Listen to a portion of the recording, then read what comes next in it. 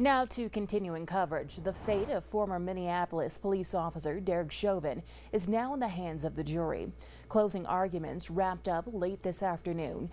ABC's Rena Roy has more on what was said in the courtroom. His name was George Perry Floyd Jr. The name that's forever changed the city of Minneapolis is the same one the jury will be laser focused on as they deliberate the fate of former police officer Derek Chauvin. In closing arguments, prosecutors walking the 12 jurors through George Floyd's life story, blaming Chauvin for cutting it short. What the defendant did to George Floyd killed him. It was ruled a homicide the prosecution reminding them of the painful viral video that sparked protests around the world. Use your common sense. Believe your eyes. What you saw, you saw.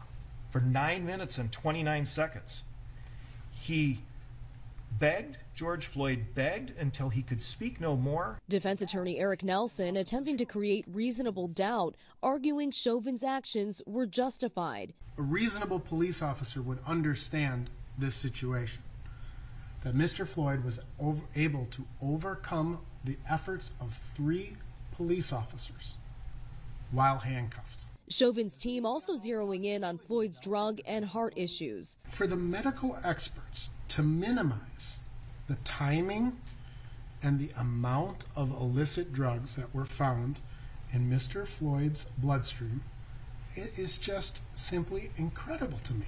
Both sides explaining the jury's responsibility, detailing exactly each element of the laws they should consider when deliberating Chauvin's three charges of second degree unintentional murder, third degree murder, and second degree manslaughter. He's facing years in prison if convicted. Ahead of the verdict, security here is very much stepped up. There are about 2,000 National Guard members on standby, and schools will be going remote starting on Wednesday. Rena Roy, ABC News, Minneapolis.